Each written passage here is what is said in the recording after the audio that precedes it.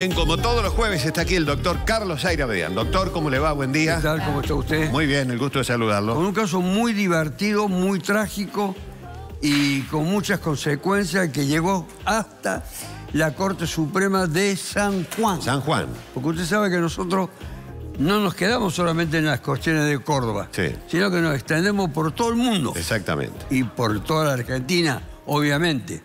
Y este es un tema muy interesante, porque muestra la naturaleza del ser humano, los miedos. Puede ser que para algunos la cobardía, pero hay que ser muy cuidadoso en el empleo de los adjetivos. Y también en las consecuencias de carácter penal, que son verdaderamente materias que seguramente van a generar una gran controversia. Una mujer se encontraba con su amante en la vía pública, en un lugar oscuro, conocido el amante popularmente como el patelana. Sí. Bien, se encontraba con el patelana. Y apareció el esposo, que había advertido la ausencia de la mujer cuando fue a la casa y haciendo un seguimiento se lo encontró a los dos. El amante, ocasional o no, con ánimo de permanencia o no, eso no importa, pero que era el que tenía la relación, diríamos, clandestina Claro. con la mujer, al ver la presencia del titular del matrimonio, del Sí. verdadero esposo, esposo, por otra parte, y que se dirigió en forma resuelta y decidida para atacar a la mujer, al tipo le dijo, rajate. Rajate, rajate, rajate, le dijo. Y el tipo efectivamente se rajó. Salió corriendo. Sí. Salió corriendo, pero se ocultó. Aquí vamos a ver las consecuencias de ese ocultamiento y de ese rajarse cumpliendo la orden imperativa que le había dado el marido de Marido. la mujer. Pero inmediatamente él, desde el lugar donde se encontraba, observó que el marido le había empezado a golpear a su mujer y la había puesto sobre sus rodillas. Y además de ponerla sobre las rodillas, la estaba golpeando. Voy a adelantar el resultado de lo que allí aconteció. Después, en esa golpiza, finalmente la mujer murió. Murió. El, el hombre la mató. Y este, el que había sido el ocasional productor de este hecho por tener la relación eh, clandestina, que se había escapado, la gente lo había visto, que se había escapado, que había corrido, que se había ocultado, tenía miedo, porque Claro. había visto la ira en el esposo, la ofuscación en el esposo. Bueno, algunos dirán, che, tenía que haberla defendido a la mujer, al ver que el tipo le estaba pegando, haber intervenido. Bueno, Claro. cada uno tiene su propia naturaleza.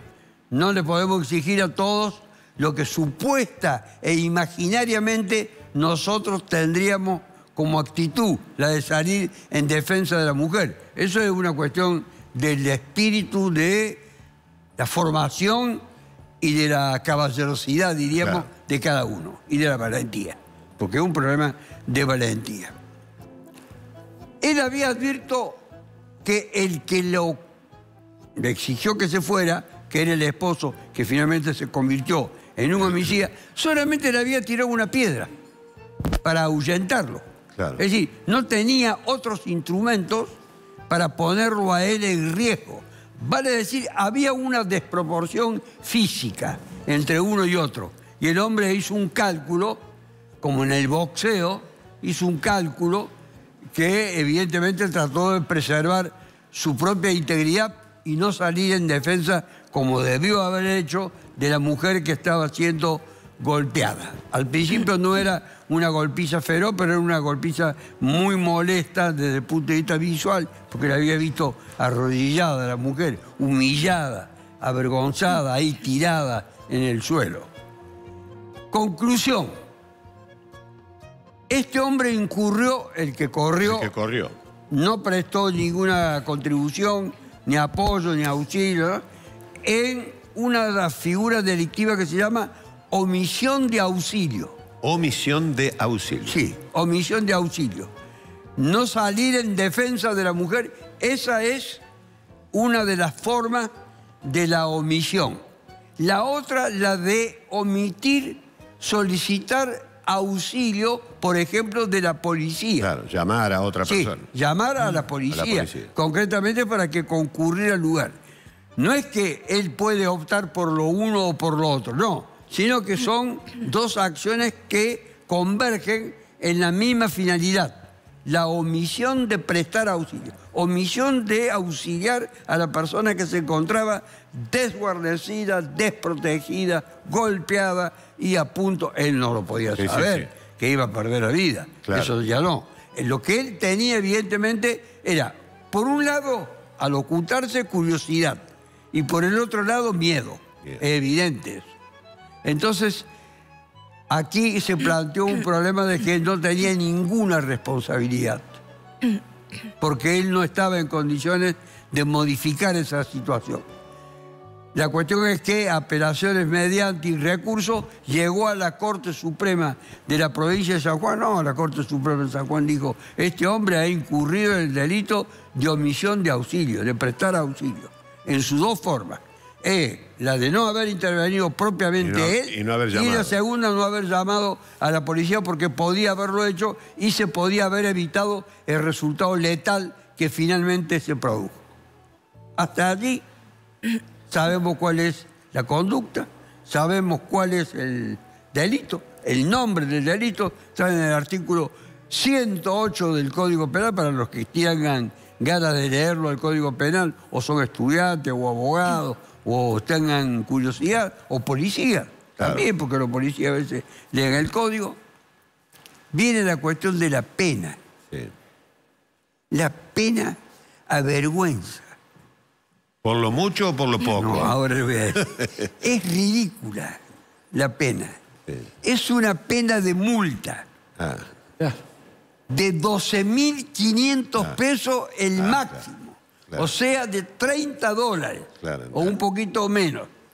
O al día de hoy.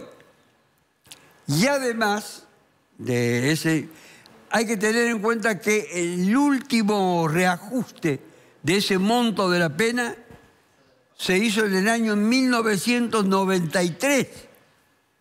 sí. 2003, 2013, 2023. ¿A dónde están los legisladores? Que no, por una cosa tan simple y tan sencilla. No hace falta que esté Cristina enojada con los senadores, porque eso es una cosa Sí, que sí, sí. seguramente todos lo van a votar sin mirar. Incluso Claro. algunos no van a saber ni lo que miran. Bueno, concretamente por eso puse que la pena era ridícula. 12.500 pesos el monto máximo de la sanción. Los jueces no le podían poner más pena que esa. Qué Señores. Entonces desde aquí le hago una eh, reflexión a los legisladores nacionales, porque el Código eh, Penal es de competencia del Congreso de la Nación. ¿Cómo no van a tener en cuenta una actualización, ya no de las penas privativas de la libertad, sino de esta sanción que retrata debidamente la conducta de los seres humanos, auxiliar a otro, llamar a la policía, evitar la consumación de un delito mucho más grave? Por eso es una pena ridícula. Ridícula.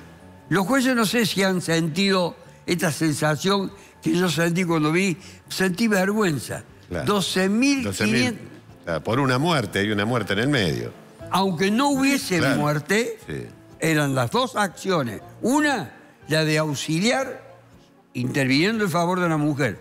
Podía tener temor, aunque el agresor solamente en ese momento tenía una piedra.